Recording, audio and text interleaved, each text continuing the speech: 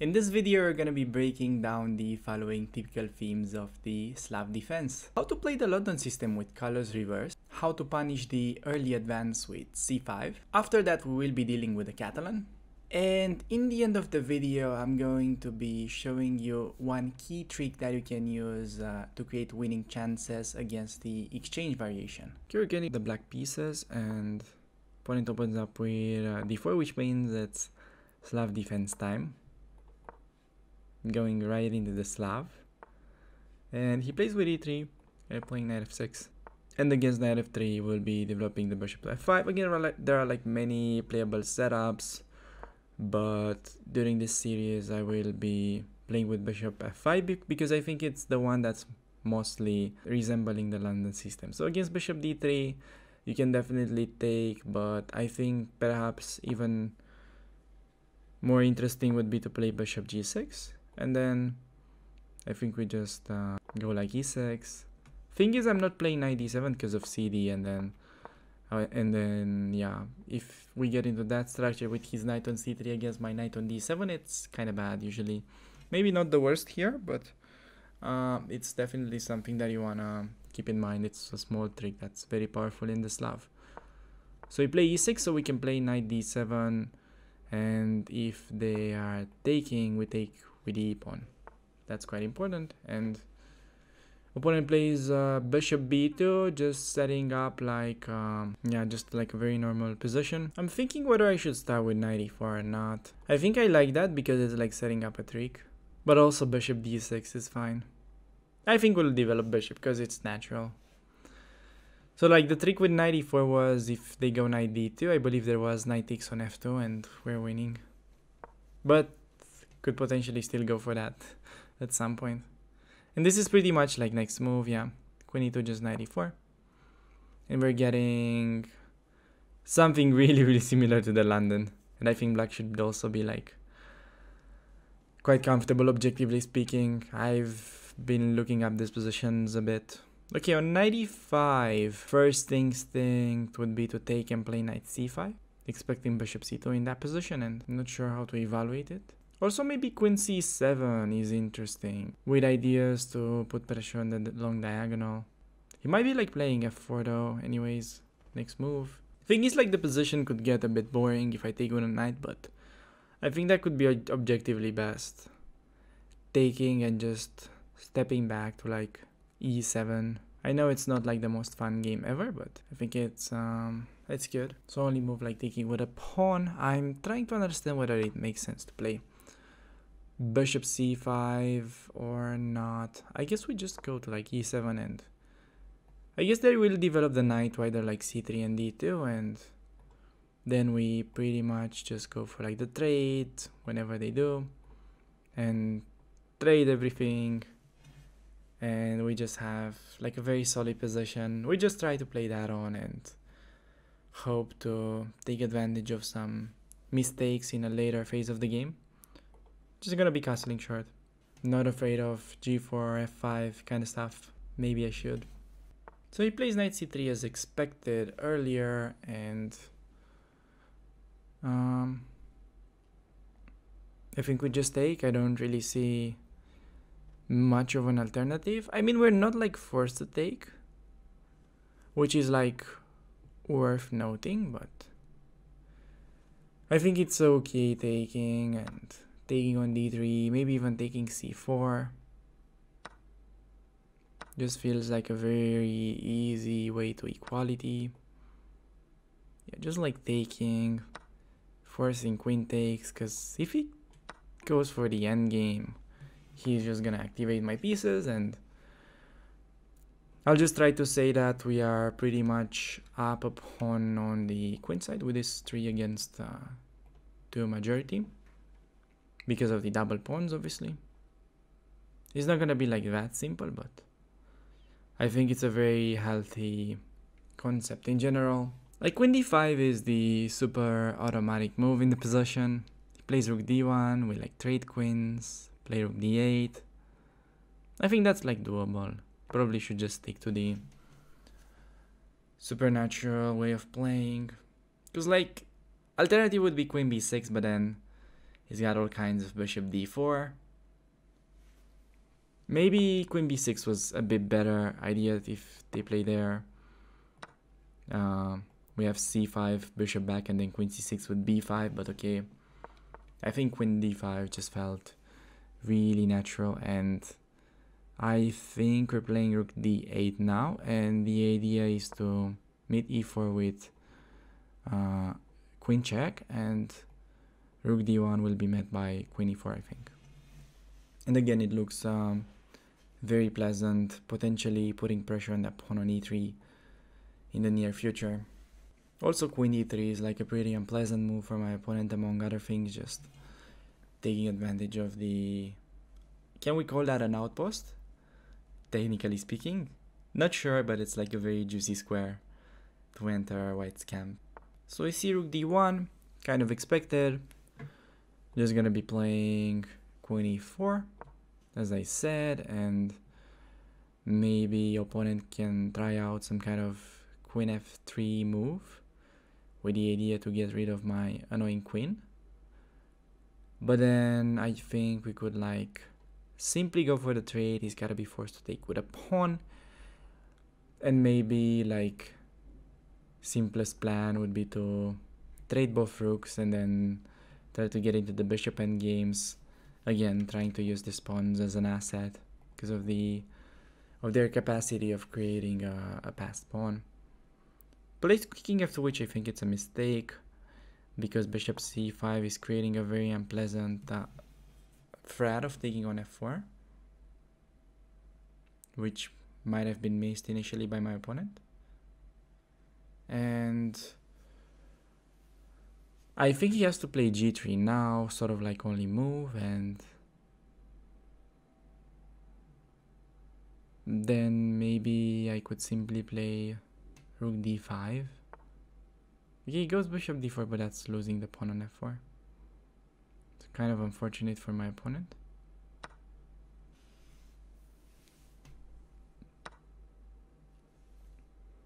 But it's actually not as simple as it looks, because if I take it with a rook, he's gonna go for the trade and then he's infiltrating and kind of have to take one f4, but then he just steps back and he's got some compensation. Okay, he's straight up resigned. Not sure why. I mean, sure, I'm like still much better after just like queen g5 and then I double up rooks, but I don't think, you know, you need to resign in this type of positions. The opponent opens up with the English opening. I'm gonna be playing c6 with the idea to yeah, if he goes d4, just getting back into the Slav defense. Otherwise, yeah, we're getting into some kind of English opening slash Reti territory, and we have a very, very odd opening because he plays c5, and I haven't checked this, but I think e5 is the best move. Because if he takes, we just stay there, and we have managed to established this pretty nice center of pawns. We've got, you know, a little bit of extra space. And I think knight f6 is fine. But I think starting queen g5 is even better. Keeping an eye on this pawn. It's like a super weird position to explain. But it's just like making it uncomfortable for white to play. And also could advance this pawn like this. He's gonna be playing h4, I'm going queen g6. And then like knight's coming to g4. Fine trading bishops. Not really an issue. Maybe it's not that simple because he's getting the knight to like h6. Maybe starting knight d7 is precise. Then that idea. Because like I would love to have bishop on d6 take on f4 whenever he gets the knight there, but this pawn's actually a bit annoying now. So yeah, he's doing that and just knight f6 knight f4, queen h6, and then like knight g4.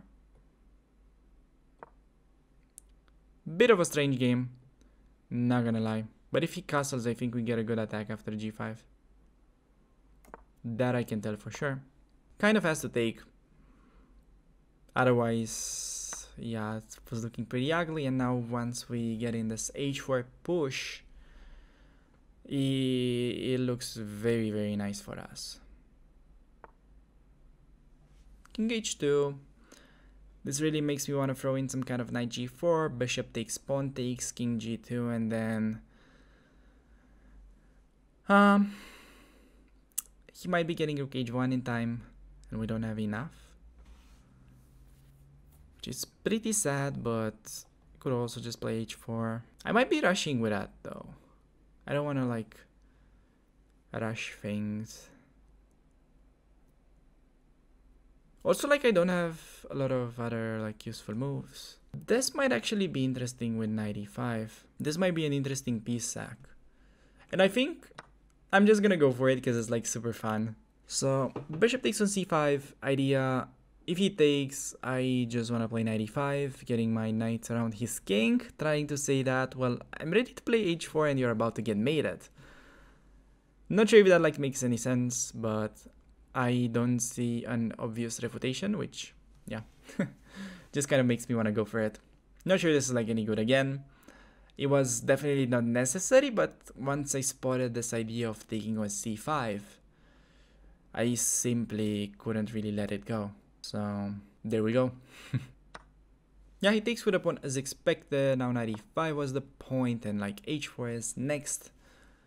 Let's see if he takes on c8, maybe could still throw in h4, but probably we're just going to be taking back with a rook since we have sort of a long-term initiative. He goes b3 with this idea, but I think he's just like uh, way too slow as we're already threatening to take on g3 with all kinds of mating threats, as you will see. Already big threat, take on g3, pawn takes, bishop takes on h3, knight takes, and then the simple queen h6 just wins back the knight with like a decisive attack so um, that is like one of the problems. I can definitely find many uh, many others and i think simplest is now to take pawn takes and play like knight eg4 only move kind of king g1 then knight takes on e3 looks winning. He's got maybe bishop d7 as a cute trick but there is just like uh, Maybe even king takes, that wins. Yeah. Okay, that doesn't work. That doesn't work for him, yeah. Also, like a nice one after taking is to play bishop g4. Because he's just pinned and kind of stuck. But I think just simplest, go for the check. Force king g1, knight takes on e3, and queen's coming over to like g3. He's just uh, pretty much doomed. He's gonna have bishop g2, but I'm assuming rook g8 is just like crushing in that position. Mm, do we have something like more clear cut? Like takes and long castle, for example. That might be actually a bit more clear cut. So I think takes and knight g4 is actually maybe simplest. So like king g1, then we have queen e3 check, and then king g2, knight e3 check. So like here, king g2, knight e3, king f2, we need to win there somehow. I mean, there must be a win. Oh, just knight takes with check, yeah. I have a bad habit of missing like super obvious wins. But I think we've got this one now. So we take with check. Yeah. And he simply resigns. Okay. Uh, I'm pretty sure you guys are curious whether this bishop takes on c5 move was legit or not. So that's why we're going to be going into the analysis tab. And computer is giving bishop e7 but I think he's gonna realize once we make the move that it's really strong. Okay, so first of all, it's giving like minus 0, 07, but I think it's... I think the computer, I mean this weaker computer doesn't really feel the power of our initiative. Because if we like play on the moves, I think it's gonna be like increasing the score. So now you see like it started as like minus 0, 07 and now it's almost double. I'm like really expecting it to go down to like minus 2. Okay, I mean, it is minus 2, but like first line is to take on c8 and play f3. I mean, what human plays f3 in this position? I don't know. Maybe one that doesn't want to get mated but like anyways he's just like so losing here i feel like in a practical game there's just like no frat no way of actually dealing with this h4 frat while these pieces are not ever gonna participate in the game. That's what really made me go for this intuitive piece sack.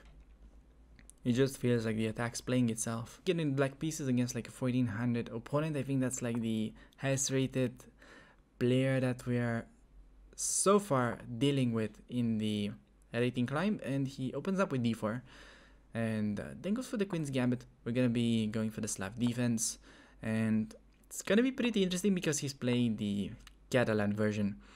And against the catalan i think i'll try to actually grab this pawn on c4 and then we might actually be able to hang on to it with like b5 and the idea is to play like bishop b7 knight d7 e6 and they're usually gonna be just going like b3 and try to say that uh, well it's not such a big deal they just sack the pawn. Getting into like pretty complex positions that are not very simple to understand. Against a4 i think we're pretty much just playing a6 and then yeah just take with the a pawn. Just keeping everything defended. And I think we could be dealing with this knight by playing knight ft7 because we need to keep c6 defended. But usually they will do something like b3. That I know for sure. Otherwise, we develop e6, bishop e7 castle and just like try to, you know, hang on to that pawn and get into some kind of endgame and win. That's pretty much the strategy. Not really super complex, but just try to, yeah, steal the pawn and live with it. Can try to challenge his knight immediately. Thing is, I don't really like his knight to stay there forever, but I think we started with e6 is fine. Seems very natural, just opening a bishop's path, and he does go b3, which is right thing to do. I think we should take, no really other move that pops to mind, and can he actually take? We have some queen d4 motifs if he takes. Okay, opponent plays e3, just defending this pawn, preparing to take back with a queen. The question is whether do we challenge this knight immediately or if we play bishop d6, take. I wouldn't necessarily love to give him the bishops, so I think I'll just play knight d7. Important, do not use this knight, because then c6 drops. So I think we're using this one. Hitting the knight and uh, yeah, as long as we can like force him back or something, I think it's definitely a great achievement. And we might be just taking with a knight, developing. We are up one so far. I mean, I can play c5, just sort of equalizing on the spot after the trades. He takes on b5. Maybe it's still not gonna be easy to castle. I think we're just gonna be playing bishop e7 and castling. No need to like be messing around too much. And uh, yeah, bishop a3 is kind of a nice idea. Trading his sort of bad bishop. Wondering whether we can actually throw in b4, bishop takes, and queen b8. I think that might be a thing. He's not forced to take, but if he does, I think we're winning a piece. And also, if we, I mean, we should, we can like just castle as well, and we're like up a pawn. Just like b4, bishop b2. Maybe c5 is good then. Yeah, that actually feels good for us. Just gonna go for that because on bishop b2 we have c5. I'm not like just fishing for the free piece. Also queen b6 I think wins by the way, but like this is I think classier. And yeah, the point was just that, well, we couldn't really have played c5 previously because b5 was dropping, but now if he plays, let's say bishop b2, we have c5 and then, yeah, just like taking over the initiative, I feel like So that's why I thought it's great. And yeah, it's just a bonus that he's taking with a bishop and we managed to like win the piece there with this like small tactic. Queen b6 was also doable, but yeah. And he also does find the resign button. Okay.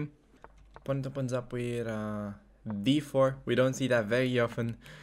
Uh, gonna be going for the Slav defense. Hopefully we can get into some like spicy main lines. We do see knight c3.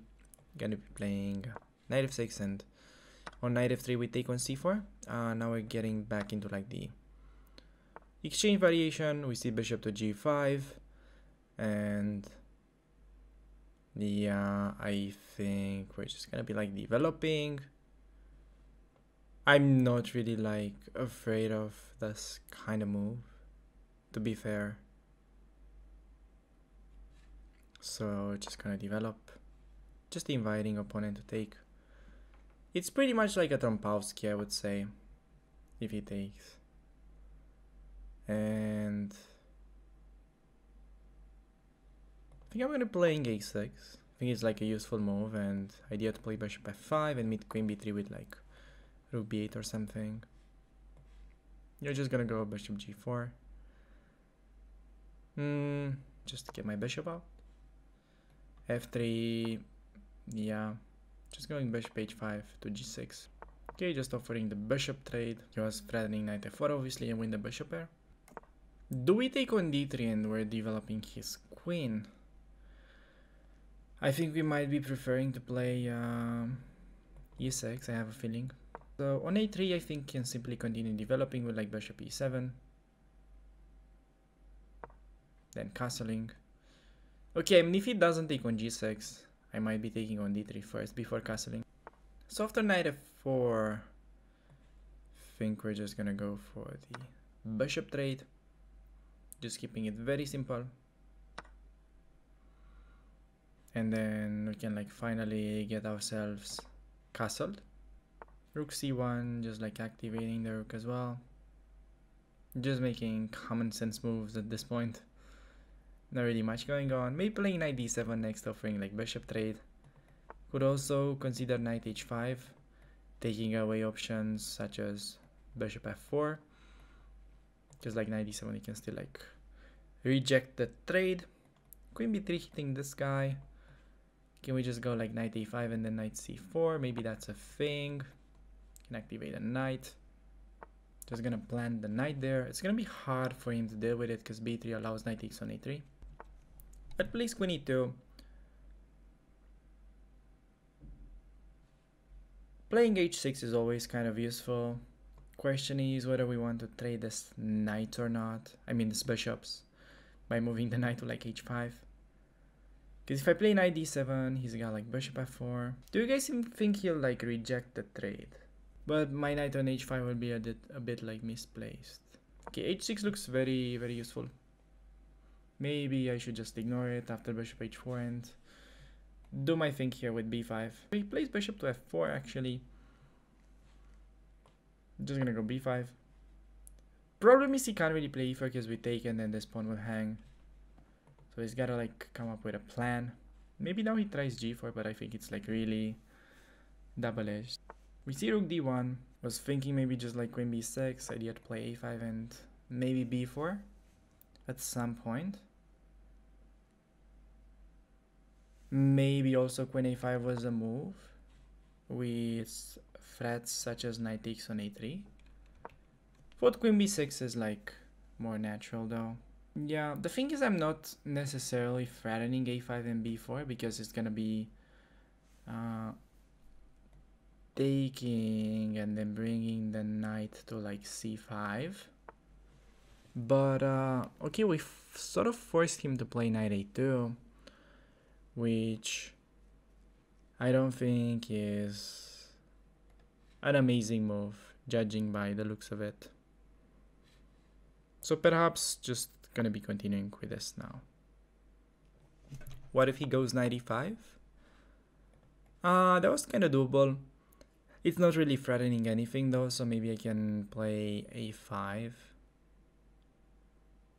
Still keeping my strong knight there. Could also take and play knight d7. I think anything is fine, but it was probably better than yeah, just making this really ugly knight a2 move because he sort of made his knight really passive for no reason. Maybe best move now is go knight c3 back with the idea to meet b4 with knight a4 as I was saying. Kinda tricky to play as white because he is like a bit more passive and I think sort of the only constructive plan would be something like this and just go all out on the king side. But I think that plan is kind of slow now and we're already ready to take over the initiative on the queen side. So he plays queen f2 with the idea to play e4 because now he is sort of uh, defending this guy on d4. Maybe we can just play rook d8. I think this move is going to be giving him some nightmares because he still can't get in e4 because of takes and then this pawn hangs. Oh, I don't think he was threatening e4. I just forgot about that. This move makes no sense now. We'll just try to say it's it's a useful waiting move. Okay. Goes rook b1, going more and more passive. You love to see it. Just gonna go b4. AB obviously taking with the a pawn. This was a very subtle one. Managed to like really confuse my opponent with it. But I thought he was threatening to play e4. Forgot that the queen is no longer there. So yeah, that's why I played it. But now I think b4 he pretty much has to take. Hey, so he plays a4, interesting. Then we have queen c6. And like b3 the knight's like infiltrating. Plays rook c1 and then just like queen b6 and we're better with that knight on a3. Just like a thorn in, in a thorn in black's position. I mean in white's position. What am I saying? um, yeah, just there I think. Feels natural. I'm not really like threatening to take as he has b3 and the knight's defended by the queen. But just the fact that we get this knight to like a super juicy outpost, I think it's like really nice. Mm, do we play queen b6 or like a6? Because like from there, it's like keeping an eye on this diagonal. Might be useful. Giving some knight c5 options, though. Which I'm not sure about. Hmm. Okay, I think I'll go queen b6. The knight looks kind of trapped, but I think it's like a very good knight. Until opponent proves it otherwise. so, I think in some positions we could potentially infiltrate on the second rank. Maybe I'm just kind of over overestimating my position a bit. Could also be the case. Okay, I mean, what I don't like about my position is the fact that I don't have an obvious way to like continue play here. So I need to come up with a with a bit of a plan. And I hope I knew how to create constructive plans in chess. Because I can't seem to come up with one now. Just gonna play g7, trying to say that we're making some kind of a solid, useful move. Playing a number of like weird moves in this game, not gonna lie. Can just trade that I think. And I think knight on a3 compared to like uh, knight on a2 is like better and that is like giving me some hope maybe just trade off his bishop with this what a boring position well, in order to be like a strong player, you need to be good at boring chess though. Like probably opponents like you, you can just like play boring chess and you like win your position and that's how we get a free win. Not saying it's the case, but it's like generally the case. Okay, 26. Why did the trade and play rook c8? Idea is to play rook c6 followed by like queen c8. Mm hmm